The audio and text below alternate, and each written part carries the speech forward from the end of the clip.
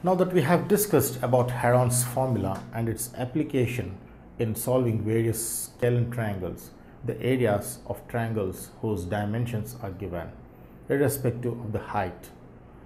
Let's see some special cases of the areas of triangles which can be found for different cases. Initially, to start with equilateral triangle.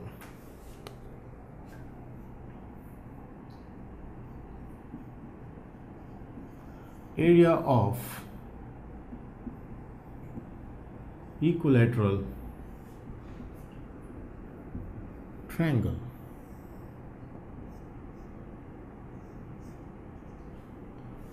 So what is area of equilateral triangle?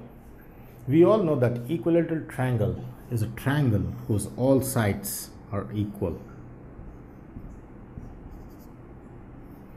So this is equilateral if all the three sides are equal. That means if I take one of the side as A, even this would be A and this would also be A. So for a triangle which is equilateral with each sides being equal, area of this equilateral triangle is given by a specific formula.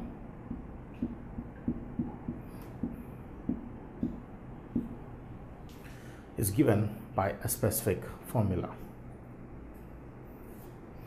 So let's see how we can find the basic formula out here. So using Heron's formula,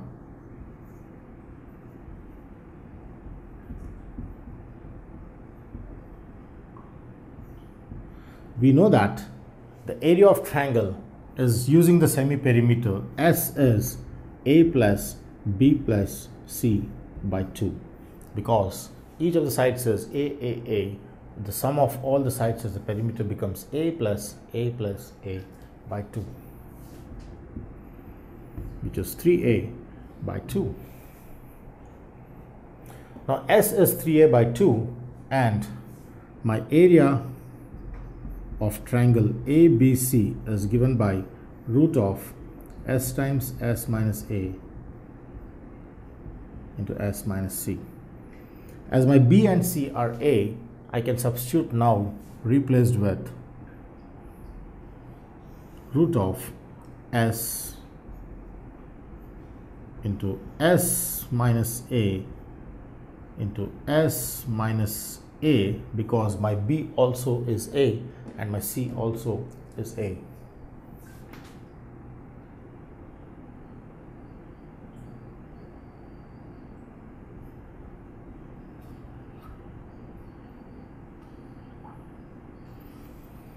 is what we get.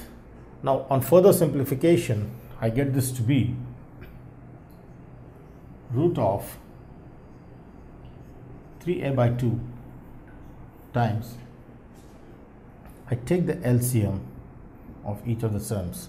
So this becomes 3a minus 2a which is a by 2 times a by 2 times a by 2 is what I get for each of the terms.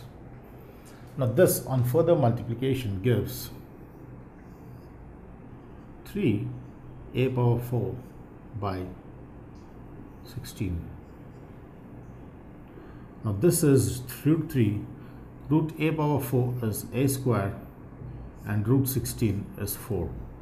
So therefore I get this as root 3 by 4 a square. Therefore area of equilateral triangle is always given by the specific formula unit square.